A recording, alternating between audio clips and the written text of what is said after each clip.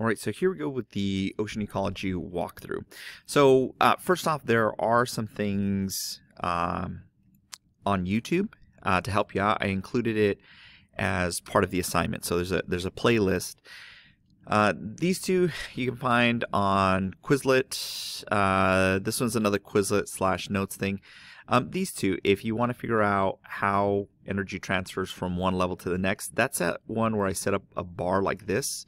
It's like that zero, one, two, three on the board. Um, that's how you figure these out. You just got to make sure that you're counting in the right direction. So, you know, if this is uh, 20 calories, that means that originally that was 200 calories. That means that second level would get two calories, and it just keeps getting smaller. So, what some people don't realize is that once the 2 shows up, the decimal is here. So, it's really like 2.0. So, that means that this becomes 0 0.2 like that. So some people have a little bit of trouble with uh, the decimal stuff. Uh, moving on over to this side. So over here, I'm talking about um, is it an herbivore, carnivore, omnivore? Now, here's where some people had some trouble right here. This answer, so don't put producers, okay? Because this, the answer for 9 and 11 is related, okay? It's related to these right here. So the answer needs to be herbivore, carnivore, or omnivore. Now, one of these is going to have two answers. Um, and I need to know the because part. Um, best way to do it is to draw a food web. Okay. So just say you have a producer. I think where some people are running into problems is they're thinking just one direction. So producer gets eaten by some sort of animal, right?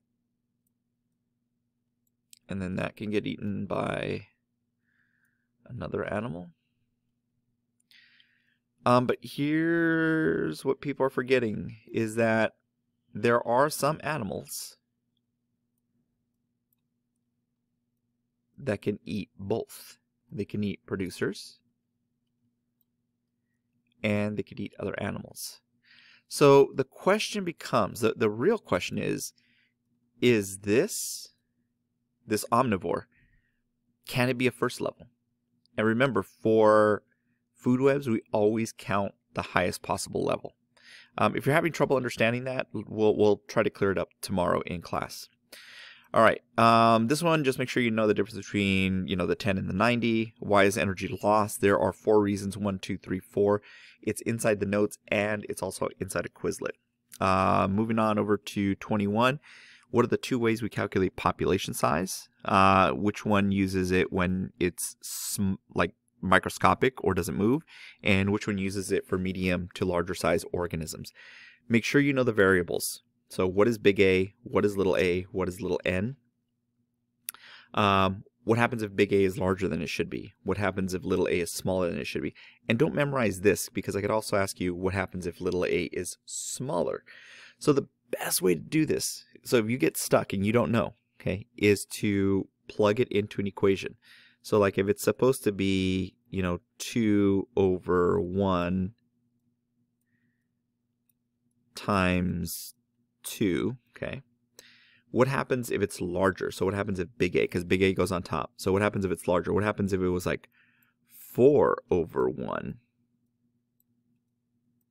times 2? So if you run into trouble, but you can't do too much of this. You can't play around with numbers the entire test because you'll run out of time. Um, but if it's like that one problem you're having issues with, just plug in a fake number and see what happens. Uh, let's see what next. Uh, so that takes care of, so a lot of this is just variable stuff. So what are the variables? Use your notebook or use Quizlet. Yes, I know you can copy and paste off of Quizlet, but make sure you know them because I'm going to ask you during the test. Uh, 34. Uh, I'm trying to find where 30, that's 33. I don't know where 34 went. Somewhere around here. Uh, anyways, let me work on this branch right here. Um, 13. So complex diagram, that's a food web. Uh, what's at the base? So you can use multiple answers here. So you could say something like um, an autotroph would work. Okay, so autotrophs, people, things that make their own food, uh, producers. uh, zero level consumers. All those work. Okay. Um, they produce what for the system? So they produce energy for the system. What's the or glucose? But what's the chemical formula for glucose? You can look that up online or on Quizlet. Um, and how do they generate glucose? Okay, how do they generate glucose? For here, uh, these include seaweeds and a specific type of plankton, also inside the notes. Uh, so I don't want to give you too many of these. All right, uh, a lot of these are equation type deals here.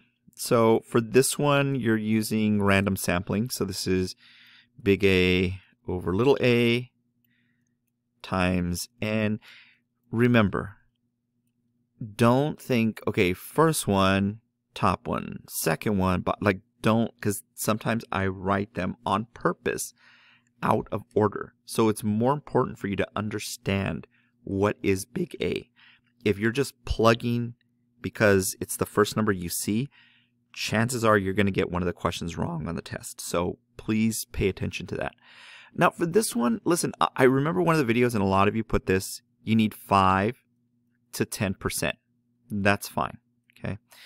But what I was asking is specifically for our class, I said this in the notes, for our class, we're going to use at least this many squares. And then in order for you to avoid bias in random sampling, we did this with the gum lab, okay? We did this with the flowers. What do you need to do? Because again, you should not be picking squares. So how do you avoid that bias? Um, over here, this is mark and recapture. So again, more important than anything else, understand what the variables are. So this is big M over little m times n, like that. Um, explain if the first level could be a carnivore in a food web. This is just like the question from over here. Okay, so it's it's very similar um, to that question. Uh, next up is another mark and recapture question. Again, can a second level be an herbivore? Be able to explain that. Uh, this one is a good one right here because I'm going to ask you, this is the liquid version of random sampling. So instead of squares, we're working with liquids. So it's like you have a thousand squares, but you're sampling five mLs. Um, this is the other one where you're going to have teammates. So you're probably going to see that on the test. So, you know, if you had, I don't know, uh, five uh, samples or like five teammates, um, uh, at and each sample was two mLs. Well, how many squares did you sample? Well, five, and each of you did two, so that's a total of ten. Um, this one's just another calorie conversion one, so the one where I draw the little grid. So the zero, one, two, three. Okay, so like this one's saying the producer created 30,000. Oops, 30,000. Uh, each time it shrinks down by 10%, how much will the third level get? Uh, finally, these are just looking at uh, simple food webs and counting the highest level.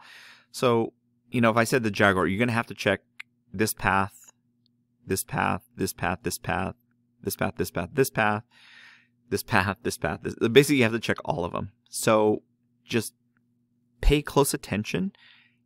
Like a maze, you're trying to find the highest possible level. Uh, and same thing with this one. Right here, you're trying to find the highest possible level. This is probably going to be maybe the longest thing that I give you on the test. Uh, I wouldn't give you one of those crazy ones because you, you still have to do it within a certain amount of time. So uh, hopefully this helps you finish the study guide.